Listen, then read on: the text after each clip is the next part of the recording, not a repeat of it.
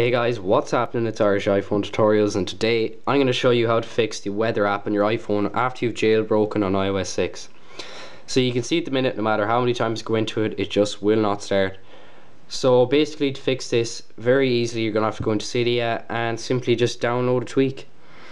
Now it's on a repo, I'm sure a lot of you guys probably don't have, so I'm going to have to show you the link to add it so if you add this repo here it is the apt dot the iphone spot repo dot net. That is the repo there. So once you have that added you're gonna have to go and find a tweak called iOS 6 and then yeah iOS 6 weather app fix. So you can see it here just says that it will fix the weather app after an iOS 6 jailbreak so we will install it here.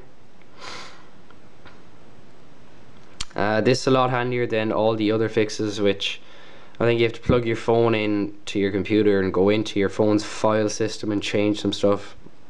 This is just a lot handier. So you don't even have to respring you just press return to Cydia. Uh, we'll go out here go into the weather and straight away it loads up perfectly.